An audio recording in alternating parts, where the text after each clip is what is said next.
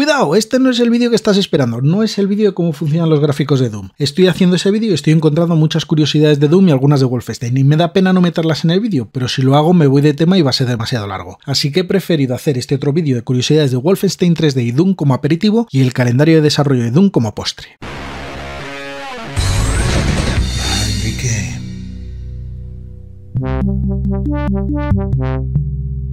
Wolfenstein no fue el primer shooter en primera persona de ID Software, sino el tercero. En 1991 habían lanzado otros dos, Hover Tank 3D que tenía paredes de color plano y Catacomb 3D que ya añadió texturas a las paredes. Ambos juegos tienen un número de sprites muy limitado, se mueven lento, tienen mapas pequeños y todavía no usaban el sistema de raycasting de Wolfenstein 3D. Son juegos con un menor tiempo de desarrollo, pero que son los hermanos mayores de Wolfenstein. Por cierto, Catacomb 3D acabó siendo una saga de la mano de Softdisk. Sin intervenir ID, sacaron Catacomb Abyss, Catacomb Apocalypse y Catacomb Armageddon.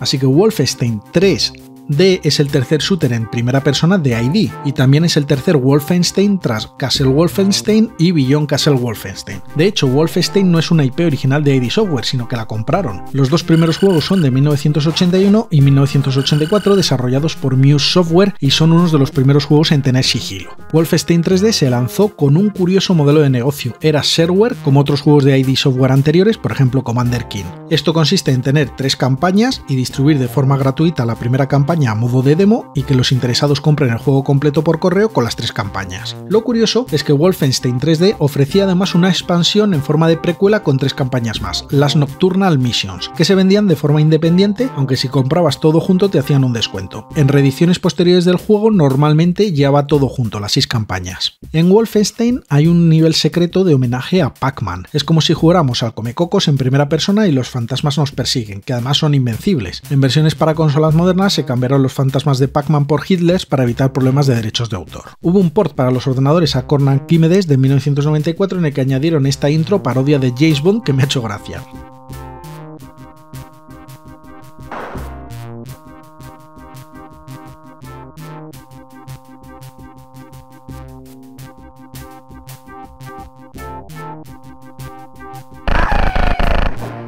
Wolfenstein 3D tiene una cosa que se llama Death Count, que son repeticiones gore y a cámara lenta de las muertes de los bosses finales de episodio. Esto desaparece en Doom, aunque hoy día son habituales en los shooters multijugador. Y siguiendo con el gore, hay un detalle bastante turbio. Cuando tienes 10 puntos de vida o menos, si pasas por encima de un charco de sangre o huesos de sangre, recuperarás un punto mientras escuchas un bonito sonido de sorber sopa. Y claro, con estas cosas tan gores no extrañará que el juego fuera clasificado más 13 por matanza profunda, aunque realmente esto lo pusieron por pitorreo imitando las calificaciones de películas, porque en videojuegos todavía no existían las calificaciones por edades en 1992 en Estados Unidos, aunque tardarían poco en llegar. Y uno de los culpables de que se formase el sistema de calificación por edades de los videojuegos fue... En 1993 hubo una comisión del Senado de los Estados Unidos sobre la violencia en los videojuegos. Al día siguiente se publicó Doom, y fue uno de los juegos que se estudiaron en la segunda sesión de la comisión ya entrado 1994. Todo esto desembocó en la creación de la SRB, la organización que se encarga desde entonces de clasificar los videojuegos que se ponen a la venta en Estados Unidos. El primer videojuego en tener una clasificación M Mature o más 17 fue Doom 2, que salió a finales de 1994, justo después de estrenarse la SRB. Y el primer videojuego en consola en tener la famosa M fue el de Super Nintendo de Doom en 1995, que se adelantó unas semanas a Mortal Kombat 3. Eso sí, Mortal Kombat 2 ya tenía un icono de más 17, pero no era de la SRB sino de la distribuidora porque se puso a la venta una semana antes de la entrada en funcionamiento del organismo.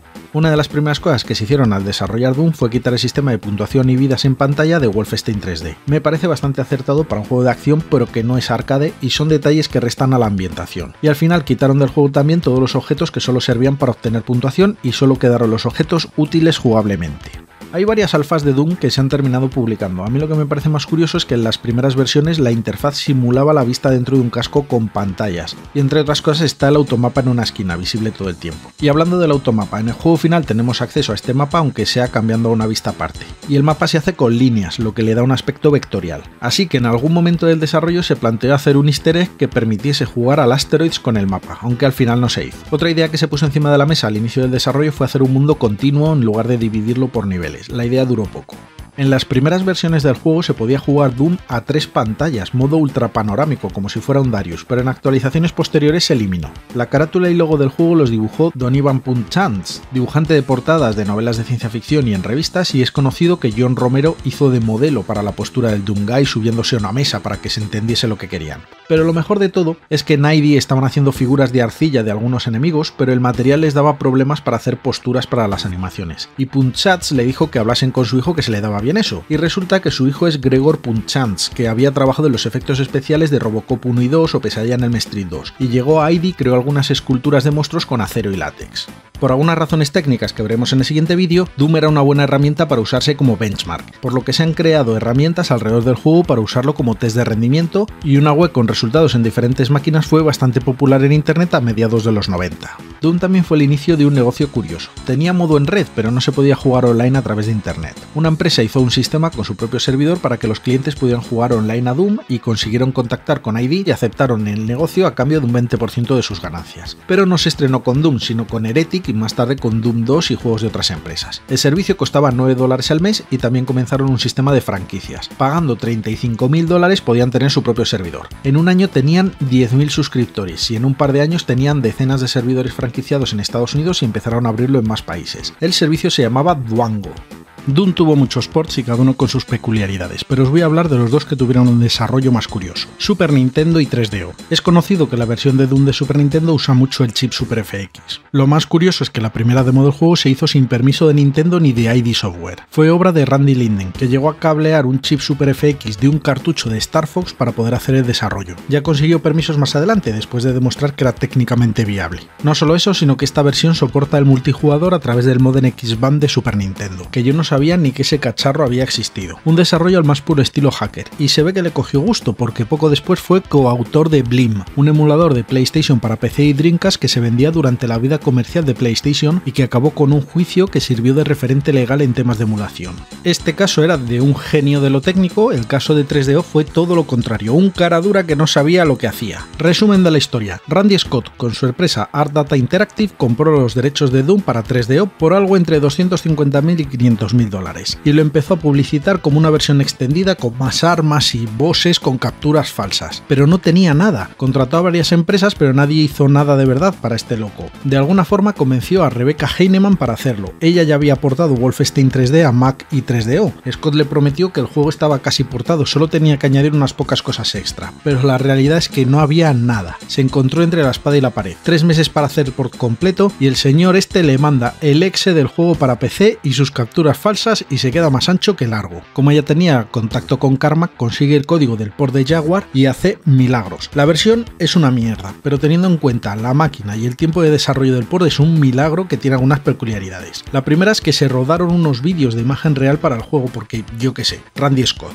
Estos vídeos no se añadieron al juego, pero las capturas de detrás de las cámaras que se han hecho públicas dan miedo y tienen poco nada que ver con Doom. Otra cosa es que a Rebeca no le daba tiempo, ni la máquina probablemente, para aportar la librería de sonido, que un grupo de música que tenía Randy tocó las canciones y las metieron como audio aprovechando que la 3DO tenía CD.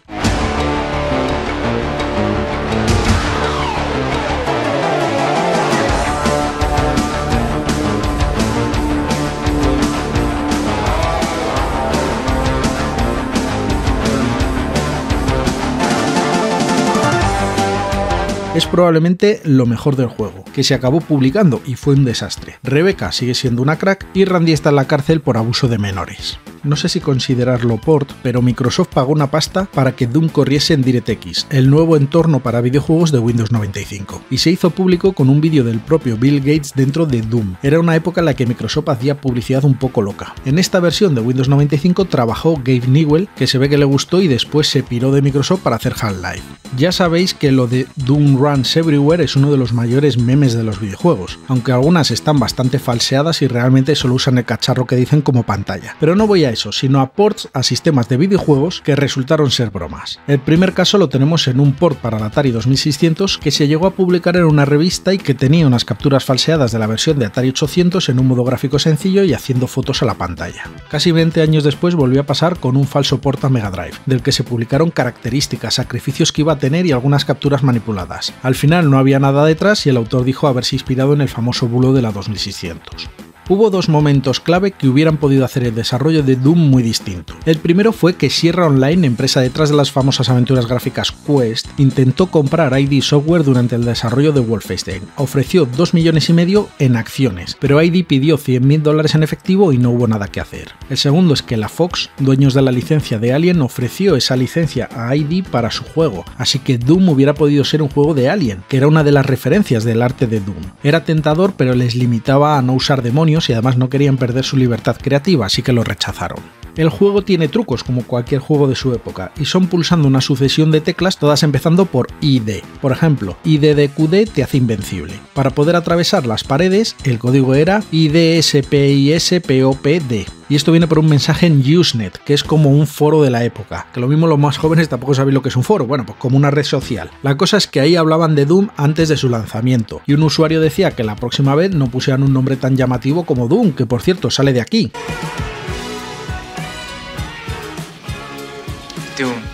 Y sugirió un título menos llamativo para evitar problemas en el lanzamiento. Smashing Pumpkins into Small Piles of Putrid Debris, algo así como calabazas reventadas en pequeños montones de desechos podridos. Esta frase hizo gracia en ID y se ha usado en varios sitios, uno de ellos este truco, y no estoy seguro de que esté del todo relacionado, pero la banda Smashing Pumpkins usó varios sonidos ampliados de Doom en su disco Melancholy and the Infinite Sadness de 1995. En el vídeo técnico de Doom que estoy haciendo digo algo así como que Doom me parece el mayor salto técnico de la historia del videojuego en un año. Y además ese motor fue desarrollado por una sola persona. Y viendo los años de salida, 1992 y 1993, parece verdad. Pero en realidad Wolfenstein 3D salió en mayo de 1992 y Doom en diciembre de 1993. Así que son 19 meses, más cerca de dos años que de uno. Pero de verdad todo ese tiempo se utilizó para el desarrollo de Doom, vamos a verlo. Cuando en mayo de 1992 se lanza Wolfenstein 3D, el juego todavía no está completo, solo habían hecho la parte de shareware, así que tenían unas semanas hasta que llegasen los pedidos de gente que quisiera comprar el juego para terminar de hacer todos los niveles, y eso incluye tanto las dos campañas del juego completo como las tres campañas de la expansión de Nocturnal Missions. Es difícil saber cuándo dar por terminado el desarrollo de Wolfenstein 3D, al enviarse por correo no hay como una fecha de lanzamiento oficial del juego completo, pero se suele poner en julio de 1992, que es cuando publicaron el manual de pistas oficial del juego que creo que se mandaba con la expansión, y se fueron todos de vacaciones a Disneyland como cierre del proyecto. Probablemente el desarrollo de los niveles de Wolfenstein 3D terminase antes de julio, pero ya estaban trabajando en otro juego, la secuela de Wolfenstein 3D, Spear of Destiny. El motor era exactamente el mismo, eran más niveles y ya está, lo mismo que la expansión de Nocturnal Missions, pero cambió la distribución. Fue publicado por FormGen como un juego tradicional, sin shareware ni nada. Se publicó el 18 de septiembre de 1992. Era una precuela y lo único destacable es que en el diseño de niveles intentaron hacer espacios más grandes para dar la apariencia de que eran menos cuadradotes, aunque la limitación de las esquinas a 90 grados seguía presente. Y si no cambiaron de motor, ¿qué hacía Carmack durante este desarrollo? Pues pruebas técnicas, intentó hacer un suelo con mapeado de texturas para un juego de velocidad tipo F0 o Mario Kart, pero pronto tuvo proyectos que sacar adelante. Volver de Disneylandia le tocó hacer el port de Wolfenstein 3D para Lynx, que si no conocías este port es porque fue cancelado, pero el desarrollo duró algo más de un mes. El motor de Wolfenstein en PC se licenció a otras empresas para hacer sus propios juegos, muchos no saldrían hasta 1994 y tampoco llevó mucho trabajo, con una excepción, Shadowcaster, que es un juego de Raven, pero que no usaba el motor de Wolfenstein tal cual, sino que necesitaba cosas extra, por lo que Carmack tuvo que modificar el motor de cara a Shadowcaster. Vamos a ver las novedades de esta versión del motor. Se añadió un fondo tipo Cube Map para poder tener escenarios a cielo abierto y que se viera un cielo con unas montañas más allá del escenario. También se pueden poner suelos y techos con textura y hasta tienen perspectiva correcta. Las paredes pueden tener distintas alturas y no tienen por qué ser simétricas en altura verticalmente. Los suelos pueden tener distintas alturas. Se usa para que las zonas de agua estén un poco más abajo y el personaje también pueda saltar. Hay algo de iluminación por distancia a la cámara. He leído que los suelos pueden estar en pendiente, pero yo no he encontrado ninguna parte del juego en que se use. Lo que sí he visto es que tiene unas pocas texturas animadas pero el motor modificado para este juego también tiene sus pegas. Tiene distancia de pintado. Ni Wolfenstein lo tenía ni Doom lo tendrá, pero aquí a cierta distancia ya no se ve el escenario y va apareciendo ante nuestros ojos. El juego es bastante lento y eso que tiene un marco lateral generoso que hace la escena 3D más pequeña. En Shadowcaster esta velocidad es aceptable porque es un juego de rol en primera persona y con pocos enemigos y objetos, pero para un juego de acción no hubiera servido. Tampoco sabemos a ciencia cierta qué partes de todas estas mejoras hizo Carmack y cuáles hicieron internamente en Raven. Lo que sí sabemos es que incluso algunas de estas features están hechas de forma distinta en Doom. Yo creo que una vez que Carmack terminó el motor para Shadowcaster más o menos en octubre, comenzaron la preproducción de Doom, ver qué necesitaban, qué tipo de juego querían hacer y esas cosas. En diciembre de 1992 compraron los ordenadores Next donde desarrollarían el juego. Karma ya llevaba teniendo un año un Next, pero en Wolfenstein solo se usó para hacer el manual de trucos. A partir de aquí comienza el desarrollo en serio, pero para Karma hubo un parón en abril cuando le cayó encima el marrón de sacar adelante la versión de Super Nintendo de Wolfenstein 3D de la que ya hablé en el último vídeo de modo 7, pero para la que aplicó alguna de las mejoras que había metido en su motor de Doom. Finalmente Doom salió en diciembre de 1993. Con todo esto no sé calcular bien cuánto tiempo de verdad tuvo Carmack para dar el salto técnico de Wolfenstein a Doom, pero probablemente sí sea alrededor de un año. Y vale, pues nada, vídeo hecho. Ya con esto me quedo más tranquilo, que no se me quedan todas estas curiosidades en el tintero. Y diréis, si te has tirado 6 meses para hacer este vídeo de curiosidades, ahora para el vídeo técnico de Doom, ¿cuánto tenemos que esperar? Tranquilidad, ese vídeo ya tiene 19 minutos montados, mm, le queda un poquito porque va a ser un vídeo largo, pero estad atentos a Mind the Game que en cuanto os despistéis lo estreno. Y de todas maneras, si habéis entrado por este vídeo, que sepáis que tenéis el vídeo técnico de cómo funciona Wolfenstein 3D ya subido desde hace tiempo. Así que nos vemos por Mind the Game. Hasta pronto. Es un conjunto de técnicas 2D que dan la impresión de 3D. Los objetos en pantalla son todos sprites 2D con escalado en tiempo real. Así que para el juicio Atari trató esta técnica prácticamente de alto secreto industrial, de información tecnológica propietaria de Atari y robada por Activision. En Activision alucinaron con esta